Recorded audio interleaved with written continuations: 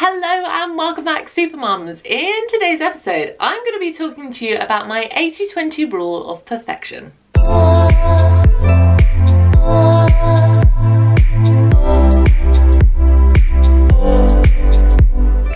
As always, please make sure you are liking, sharing and subscribing so we can reach more mums and make them feel a little bit more super.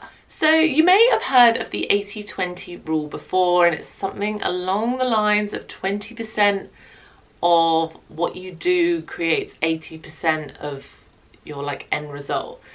It's not that 80-20 rule, it's just a coincidence that I also use 80-20. For me, it's if it's 80% good, it's perfect. I don't worry about the 20%. I apply this to if I'm being 80% productive in a week, I've had a perfect week of productivity. Because let's be real, perfect doesn't exist. So this is kind of my way of like achieving perfection because I'm a bit of a perfectionist and I needed to find a way to let it go.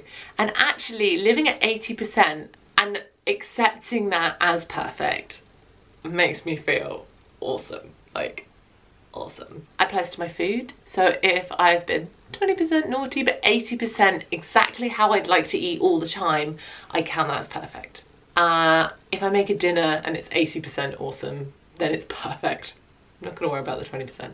If I get up on stage and I give 100%, don't get me wrong, I'm not gonna go up there and give 80%, but if it goes 80% right, so maybe I forget a bit of blocking. Like to us, no one else is going to have noticed these things. Like no one else is going to notice the 20% that didn't get nailed. They'll remember the 80%. This is about how you feel inside.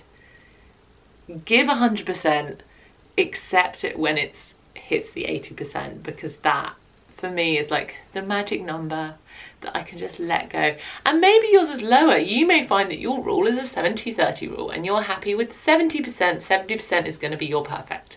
Maybe you really struggle and you need a 90%. You need it to be 90% if you're going to consider it perfect. Hey, maybe you're a person that just doesn't care if it's perfect or not. That is so cool. But if you are like me, finding the percentages that you're happy with and knowing that you can let it go at that point is life-changing. I'm so happy in my 80% bubble, my 80% world where everything is awesome at 80%.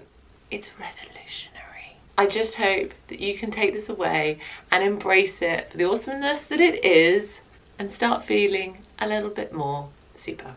I look forward to connecting with you on this amazing journey through motherhood. And remember that being a super mum is all about being the mum that you want to be. Remember, don't forget to hit subscribe and turn on your notifications to never miss out on a video again.